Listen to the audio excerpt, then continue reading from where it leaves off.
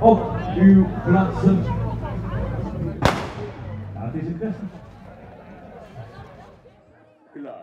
Wat ga je precies doen? Eh, als een malle het zand oprennen. Wist niet wat er overkwam in die laatste Gekke werk, dat is wat we gaan doen. Dat je gewoon je klauwen in het zand kan stoppen en eh, naar boven klimmen. Nee, niet lekker niet meegenomen. Nee, ik zat nog te twijfelen vanochtend. Zal ik bellen? Maar eh, regen, we moeten het gewoon mee doen. We zijn niet van suiker, dus we gaan gewoon. Nou, ik was ook twee weken geleden aan het oefenen hier en toen was het heel erg droog en toen was het veel zwaarder. Dus het zonnetje is jammer dat hij er niet is, maar het is wel lekker dat het zand een beetje harder is. Eigenlijk hoort het een heel groot feest te zijn. Het weer zit vandaag niet mee, maar het is echt wel een groot feest.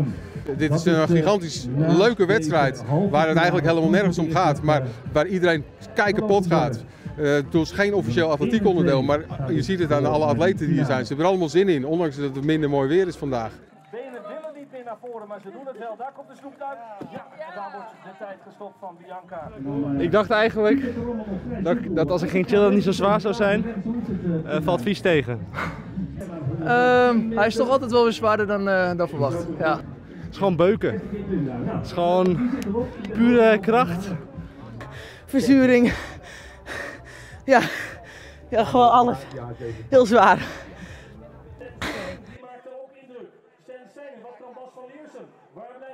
Maar volgend jaar ook weer meedoen? Ja, zeker.